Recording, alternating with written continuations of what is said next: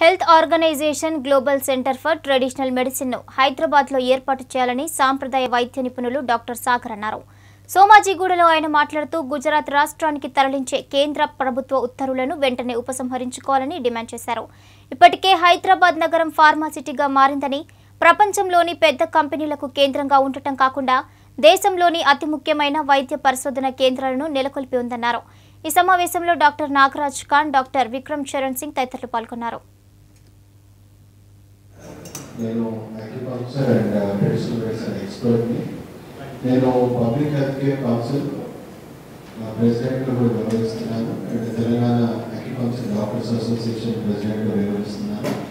So ఇక్కడ ఈరోజు ఎందుకు ఈ సమావేశం పెట్టాల్సిన అవసరం వచ్చింది అని మనం ఈరోజు మాట్లాడుకుంటే ప్రపంచ ఆరోగ్య సంస్థ డబ్ల్యూహెచ్ఓ ఒక ప్రతిష్టాత్మకమైన ప్రాజెక్ట్ తెలంగాణలో తీసుకొని ప్రపోజ్ చేయడం జరిగింది. హైదరాబాద్కు ప్రపోజ్ చేయడం జరిగింది. ఏంటి అది అంటే global centre for traditional medicine.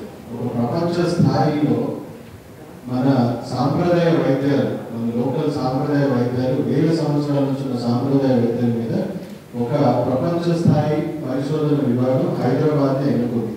హైదరాబాద్ని ఎన్నుకోవడానికి గల కారణాలు ఏంటి మనం చూసుకుంటే అన్ని అనుకూలమైన రీసెర్చ్ సెంటర్స్ కూడా ఇక్కడ అందుబాటులో ఉన్నాయి అంటే ఎలాంటివి మనం చూసుకుంటే ICMR national institute of nutrition కానీ సిఎస్ఐఆర్ కానీ సిసిఎంపి కానీ తర్వాత పురాతత్వ అంటే మన ప్రాచీన వైద్యం మీద ఒక నేషనల్ స్థాయి పరిశోధన విభాగం గడియారంలో కూడా ఉంది. అంటే మన ప్రాచీన వైద్యం మీద పరిశోధన విభాగం కూడా ఉంది ఎన్ఐఎంహెచ్ అని సో ఇలాంటి prestigious organizations